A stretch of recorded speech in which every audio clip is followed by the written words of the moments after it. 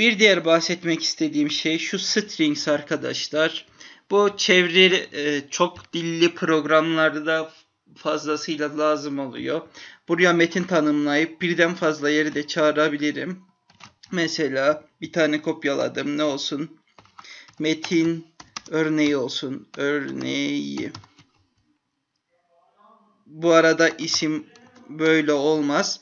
Alt tire örneği diye boşluksuz ve Türkçe atsız. Şimdi mesela arkadaşlar şu activity resme geleyim. Bir tane text view ekleyeyim. Text view genişliği ve yüksekliği wrap content, wrap content olsun. Mesela text çağırırken uzun bir metin olduğunu hayal edin. Hepsini tek tek yazmak yerine string'den add string metin örneğini çağırırsam şöyle gördüğünüz gibi şuraya büyük bir şekilde büyüttüm biraz görmeniz için. İlk uygulamam diye şu metinleri, metin örneği ilk uygulamam. Bunu da değiştireyim. Buradan değiştirince her yerden değiştirir. Metin örneği diye değiştiriyorum.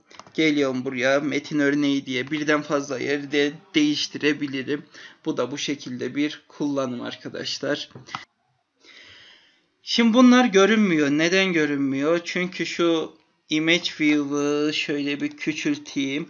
Ortaya aldım. Şu metnin de boyutunu arttırayım görünsün diye text size 40 sp olsun. Metinde görünüyor.